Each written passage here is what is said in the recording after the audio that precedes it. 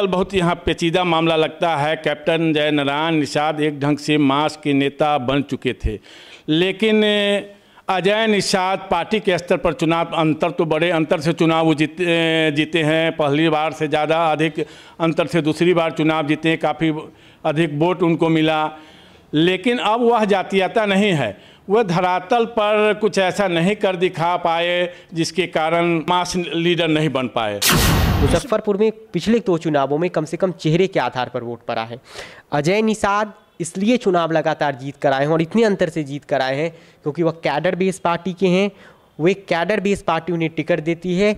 कोई भी कैंडिडेट अगर कैडर बेस पार्टी खड़ा कर देती है, जैसे बीजेपी अजय निषाद अपेक्षाकृत कोई मज़बूत उम्मीदवार नहीं है। उन्हें खड़ा कर देती, वो चार लाख के अंदर से चुनाव जीत कर आते हैं। जानते हैं कि विधानसभा में अधिकांश सीटों पर आरजेडी मतलब महागठबंधन भी जीतता है फिर भी लोकसभा चुनाव का प्रदृश्य कुछ अलग हो जाता है। लोकसभा का चुनाव आते ही लोग हिंदुत्व और भाजपा के नारे पर जो है से ट्रांसफ़र हो जाते हैं, जिसके कारण उसका परिणाम ही कुछ अलग बदल जाता है। और बीजेपी हर बार टिकट सांसदों का काटती है। इस बार भी खबर है कि 35 परसेंट सांसदों का जो है फिस्सी सांसद उनका टिकट कटेगा।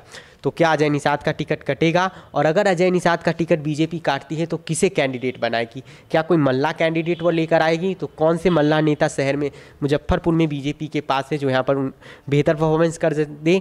या फिर बीजेपी कोई अगरा प्रत्याशी यहाँ पर लेकर आएगी? क्योंकि तो इस बार के चुनाव में कोई भी अलायंस बिहार में कम से कम एक सीट पर एक ही जाति के दो उम्मीदवार को खड़ा करने से डरती है, क्योंकि इस बार उन सबको लगता है कि कोई भी कैंडिडेट अगर एक जाति का खरा हम करेंगे दोनों तरफ़ से तो किसी न किसी पार्टी को इस बार के वोटर एक साथ वोट दे देंगे, क्योंकि इस बार बाइपोलर इलेक्शन होगा। या तो मोदी को लाना है या फिर मोदी को हटाना है। कैडर बेस पार्टी के कारण जीतते हैं, क्षेत्रीय मुद्दे गौन हो जाते हैं, स्थानीय मुद्दे गौन हो जाते हैं, राष्ट्रीय मुद्दे पर, हिंदुत्व पर, राष्ट्रवाद पर, बीजेपी के चेहरा पर और नरेंद्र मोदी के काम पर वोट पड़ता है। गायघाट, बोचहा और सकरा की सीट और मुजफ्फरपुर की सीट एनडीए के पास है, कुठन्नी और औराई की सीट जो है, वो बीजेपी के पास है। यानी चार सीटें, महागठबंधन और दो सीटें एनडीए अलायंस के पास है। नमस्कार, आप देखना शुरू कर चुके हैं फ़र्स्ट लुक बिहार मैसेजल आपके साथ। आज हम बात करेंगे मुजफ्फरपुर की लोकसभा सीट पर, जहाँ पे पिछले दो बारों से भारी मतों से अजय निषाद भाजपा से जीतते आ रहे हैं। उनसे पहले भी उनके पिता चार बार मुजफ्फरपुर की सीट से जीत चुके हैं। आज हम बात करेंगे मुजफ्फरपुर के सीट के इतिहास के बारे में और समीकरण करेंगे आने वाले लोकसभा इलेक्शन को लेकर, जिसको लेकर हमारे साथ जुड़े हैं अमित और साथ ही साथ फ़र्स्ट लुक बिहार के editor in chief Ravinder sir. तो सर, आपका पहले बहुत बहुत स्वागत है। सेजल, जहाँ तक मुजफ्फरपुर की बात है तो मुजफ्फरपुर उत्तर बिहार का घोषित राजधानी माना जाता है। और ख़ासकर पॉलिटिकल रूप से मुजफ्फरपुर का उत्तर बिहार में महत्व है। मुजफ्फरपुर में मुजफ्फरपुर से ही उत्तर बिहार की राजनीतिक दशा दिशा तय होती है।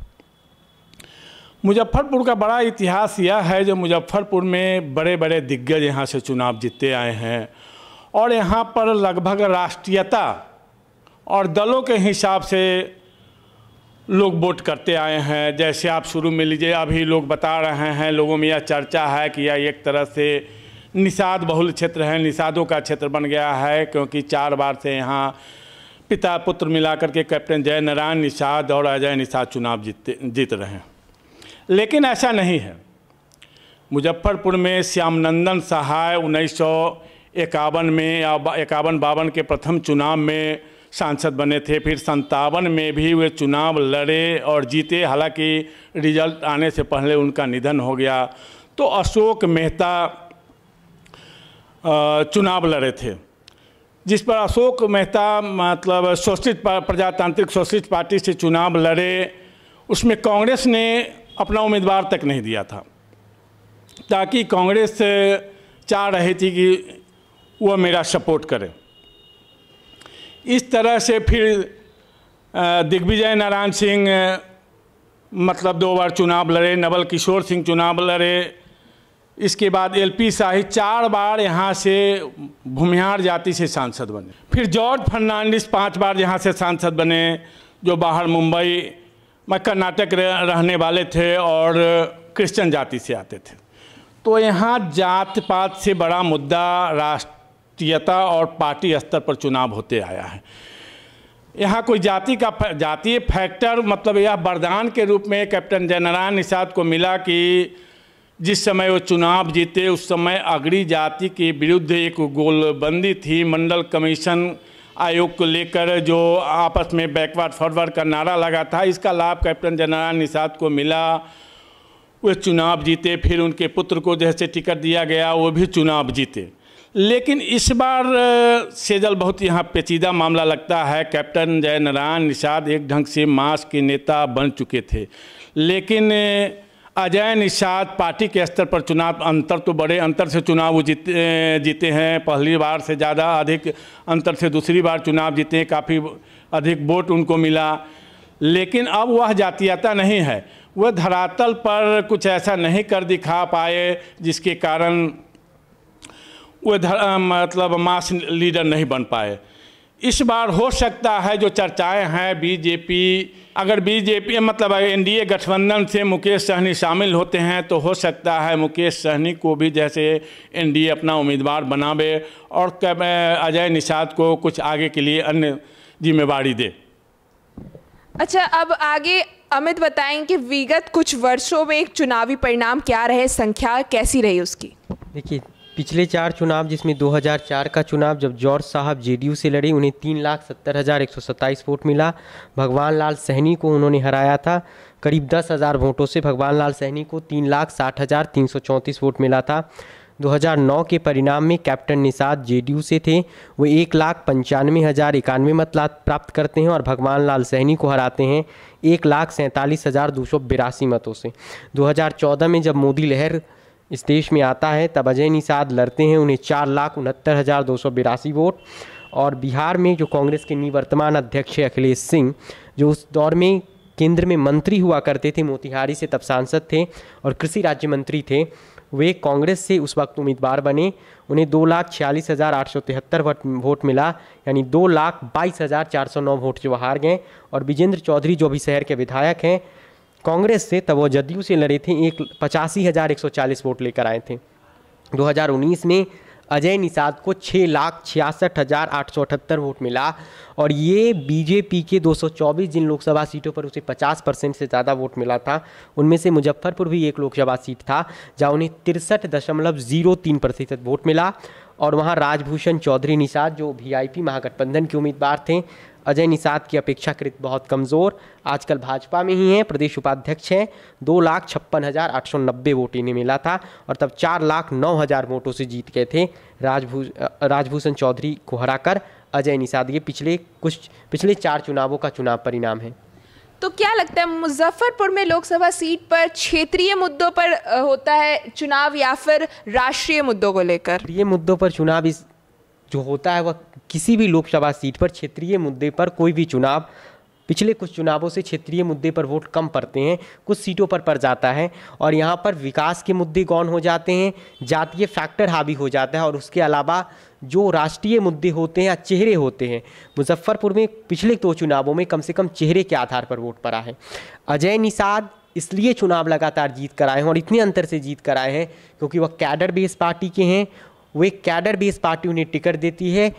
कोई भी कैंडिडेट अगर कैडर बेस्ड पार्टी खड़ा कर देती है, जैसे बीजेपी, अजय निषाद अपेक्षाकृत कोई मज़बूत उम्मीदवार नहीं है। उन्हें खड़ा कर देती, वो चार लाख के अंदर से चुनाव जीत कराते हैं और ये अजय निषाद के खाते में दर्ज हो जाता है कि वह चार लाख वोट से चुनाव जीत कराए। जबकि अजय निषाद मास लीडर नहीं बन पाए और पॉपुलर लीडर नहीं बन पाए मुजफ्फरपुर में, जो पहचान कैप्टन जयनारायण निषाद की थी। आज भी आप जाइएगा तो गाँव में कैप्टन जयनारायण निषाद को बड़े बुज़ुर्ग पहचानते हैं। अजय निषाद गाँव से कटे रहते हैं। ये जनता से सीधे जुड़ाव नहीं रख पाते हैं। इस कारण ये चुनाव तो जीतते हैं क्योंकि ये कैडर बेस पार्टी ने टिकट देती है और चुनाव जीत कर आते हैं। ब्रांड मोदी का नाम रहता है, राष्ट्रवाद का मुद्दा रहता है, हिंदुत्व का एजेंडा रहता है और दिलचस्प ये है कि पिछली बार ये अपेक्षाकृत बहुत कमज़ोर उम्मीदवार इनके खिलाफ थे, जिन्हें कोई पहचानता नहीं था, जिनकी कोई आइडेंटिटी नहीं थी शहर में, या फिर मुजफ्फरपुर की जिन विधानसभा सीटें, जिन इन लोकसभा सीट में हैं उनमें। जबकि 2014 में ब्रांड मोदी लहर था, इसलिए अखिलेश सिंह ही को भी अजय निषाद ने बुरी तरह से हरा दिया था। तो Ajay Nishad cadre base party के कारण जीतते हैं क्षेत्रीय मुद्दे गौन हो जाते हैं स्थानीय मुद्दे गौन हो जाते हैं राष्ट्रीय मुद्दे पर हिंदुत्व पर राष्ट्रवाद पर बीजेपी के चेहरा पर और नरेंद्र मोदी के काम पर वोट पड़ता है। आपकी क्या राय है सर कि राष्ट्रीय मुद्दों पर मुजफ्फरपुर में लोकसभा इलेक्शन होता है या फिर क्षेत्रीय मुद्दों पर?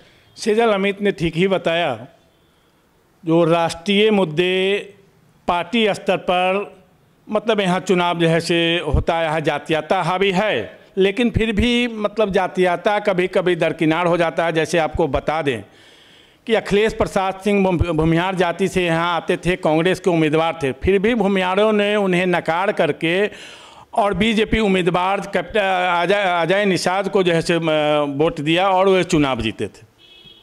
अच्छा तो इस बार समीकरण क्या है कि इस बार जिस सीट पर है, विधानसभा सीट कितनी है और साथ ही साथ कौन कौन से दल आगे चल रहे हैं? देखिए, विधानसभा सीट यहाँ छः है, जिसमें दो आरक्षित है, बोचहा और सकरा। बोचहा में 2020 में मुसाफिर पासवान जीते, एनडीए, वीआईपी से, लेकिन बाई इलेक्शन हुआ, तब अमर पासवान आरजेडी से जीत गए। सकरा में अशोक चौधरी जेडीयू के हैं, आरक्षित हैं। कुठन्नी में 2020 में अनिल सहनी राजद के जीते 2022 में जब पिछले साल उपचुनाव हुआ, तब केदार प्रसाद गुप्ता बीजेपी के जीत कराए मुजफ्फरपुर में विजेंद्र चौधरी हैं, नगर विकास मंत्री को हराकर बने थे विधायक। और आई में रामसूरत राय हैं, नीतीश सरकार में मंत्री भी रहे थे राजस्व विभाग के। और गायघाट में निरंजन राय हैं, जो कि एक नया चेहरा थे। 2020 में आरजेडी के जीत कराए थे महेश्वर यादव को। तो इनमें गायघाट, बोच, गायघाट, बोचहा और सकरा की सीट और मुजफ्फरपुर की सीट एनडीए के पास है। कुठन्नी और औराई की सीट जो है वो बीजेपी के पास है यानी चार सीटें महागठबंधन और दो सीटें एनडीए अलायंस के पास हैं। सर आपको क्या लगता है कि अभी कौन कौन से दल आगे चल रहे विधानसभा सीटों पर? देखिए अभी विधानसभा की बात नहीं विधानसभा पर कौन से दल आगे चल रहे हैं उससे कोई मायने नहीं रखता है। जैसे आप जानते हैं कि विधानसभा में अधिकांश सीटों पर आरजेडी मतलब महागठबंधन भी जीतता है फिर भी लोकसभा चुनाव का परिदृश्य कुछ अलग हो जाता है। और लोकसभा का चुनाव आते ही लोग हिंदुत्व और भाजपा के नारे पर जो है से ट्रांसफ़र हो जाते हैं जिसके कारण उसका परिणाम ही कुछ अलग बदल जाता है। अच्छा तो इस बार कैसा समीकरण रह सकता है? देखिए इस बार कैसा समीकरण रह सकता है ये निर्भर करता है कि बीजेपी अजय निषाद को फिर टिकट देगी या नहीं क्योंकि अजय निषाद की कोई खास पॉपुलरिटी उनकी शहर में है, नहीं मुजफ्फरपुर में। और बीजेपी हर बार टिकट सांसदों का काटती है। इस बार भी खबर है कि 35 परसेंट सांसदों का जो है फिस्सी सांसद उनका टिकट कटेगा। तो क्या अजय निषाद का टिकट कटेगा? और अगर अजय निषाद का टिकट बीजेपी काटती है तो किसे कैंडिडेट बनाएगी? क्या कोई मल्ला कैंडिडेट वो लेकर आएगी? तो कौन से मल्ला नेता शहर में, मुजफ्फरपुर में बीजेपी के पास है, जो यहाँ पर बेहतर परफॉर्मेंस कर दे? या फिर बीजेपी कोई अगरा प्रत्याशी यहाँ पर लेकर आएगी? ये देखना होगा। वैसे कुछ नेता हैं, जो कि चुनाव लड़ने के लिए तैयारियों में हैं वह शीर्ष नेतृत्व से बात कर रहे होंगे। उनके नाम वक्त आने पर पता चल ही जाएगा लोगों को कि कौन कौन से नेता हैं कुछ नेता हैं। लेकिन मुकेश सहनी का फैक्टर है। मुकेश सहनी अगर चले आते हैं एनडीए में तो फिर वो टिकट मांग सकते हैं तो उन्हें चुनाव लड़ने को मिल सकता है। जबकि इंडिया इंडिया अलायंस के पास यहाँ कैंडिडेट ढूँढने में दिक्कत है, क्योंकि दो बार वो बुरी तरह हारे हैं। अब यहाँ से वो कैंडिडेट बनाएँगे, किसको ये समस्या है? क्या यादव कैंडिडेट वो लेकर आएँगे? तो कितनों यादव को टिकट देंगे? कोई अति पिछड़ा कैंडिडेट लेकर आएँगे या फिर कोई सहनी कैंडिडेट लेकर आएँगे? क्योंकि इस बार के चुनाव में कोई भी अलायंस बिहार में कम से कम एक सीट पर एक ही जाति के दो उम्मीदवार को खड़ा करने से डरती है, क्योंकि इस बार उन सबको लगता है कि कोई भी कैंडिडेट अगर एक जाति का खड़ा हम करेंगे दोनों तरफ़ से तो किसी न किसी पार्टी को इस बार के वोटर एक साथ वोट दे देंगे क्योंकि इस बार बाइपोलर इलेक्शन होगा। या तो मोदी को लाना है या फिर मोदी को हटाना है। तो इस कड़ी में जो आपके कोर वोटर्स होंगे जिन जिन पार्टियों के, वे नाराज़ हो जाए। तो इसलिए दोनों तरफ़ से मल्ला कैंडिडेट उतरे। इसकी संभावना मुझे कम से कम कम दिखती है है कि दोनों तरफ़ से एक ही जाति के कैंडिडेट नहीं होंगे। अलग अलग जातियों के कैंडिडेट हो सकते हैं। ये बीजेपी को तय करना है कि क्या वो मल्ला कैंडिडेट ही फिर देगी। फिर अजय निषाद को वापस तीसरी बार मौका देगी चुनाव लड़ने का। और क्या निषाद परिवार सातवीं बार मुजफ्फरपुर में कब्जा करेगा, ये देखना होगा। और अगर अजय निषाद नहीं तो फिर किसे टिकट देगी? क्या कोई सबन चेहरा लेकर आएगी? अति पिछड़ा पर दाम लगाएगी? ये देखना होगा। और इंडिया अलायंस में उम्मीदवार ढूंढना होगा। कोई मज़बूत उम्मीदवार, क्योंकि मुजफ्फरपुर में वो दो बार बुरी तरह से चुनाव हारे। सर, आपको क्या लगता है, इस बार कैसा समीकरण रह सकता है? सीजल जहाँ तक मुजफ्फरपुर में इस बार टिकट की बात है दोनों गठबंधन की बात है एनडीए और इंडिया की बात है। फैक्टर यहाँ मुकेश सहनी है। उत्तर बिहार में या कहे एक तरह से बिहार में सहनी के बड़े नेता के रूप में उभर कर सामने मुकेश सहनी आए हैं। और जो जहाँ तक हम लोगों ने पब्लिक ओपिनियन में भी देखा है उसमें सहनी जा, जाति के लोग एकमात्र नेता मुकेश सहनी को मान रहे हैं। इस स्थिति में भाजपा यहाँ क्या करती है? अगर भाजपा अजय निषाद को ही अपना उम्मीदवार बनाए और एनडीए में मुकेश सहनी शामिल नहीं हो, उस स्थिति में महागठबंधन या इंडिया अलायंस जो कहे, वह मुकेश सहनी को भी चुनाव में उतार सकता है। इस स्थिति में अजय निषाद की मुश्किलें बढ़ सकती है। वैसे तो कांग्रेस से जो यहाँ नगर विधायक हैं, मुजफ्फरपुर से विजेंद्र चौधरी, वो भी लगातार लोकसभा चुनाव के लिए प्रयास कर रहे हैं। लेकिन जो लगता है, जो परिदृश्य है महागठबंधन और एनडीए, इंडिया अलायंस के, उसमें क्या कांग्रेस यहाँ से कई बार चुनाव हारने के बाद भी अपना उम्मीदवार खड़ा कर पाती है, गठबंधन से उन्हें या हिस्सा में हिस्सेदारी मिले, यह भी संभव नहीं दिख रहा है। इस स्थिति में अभी किसी निष्कर्ष पर पहुँचना थोड़ा पेचीदा लग रहा है। तो जैसा कि हमने बात किया, मुजफ्फरपुर लोकसभा सीट के इतिहास को लेकर और साथ ही साथ एक समीकरण किया कि 2024 में लोकसभा सीट से कौन से सांसद आ सकते हैं। तो इस खबर के लिए बस इतना ही और खबरों के लिए बने रहिए हमारे साथ। हमारे फेसबुक चैनल को लाइक कीजिए, हमारे यूट्यूब चैनल को सब्सक्राइब कीजिए। धन्यवाद।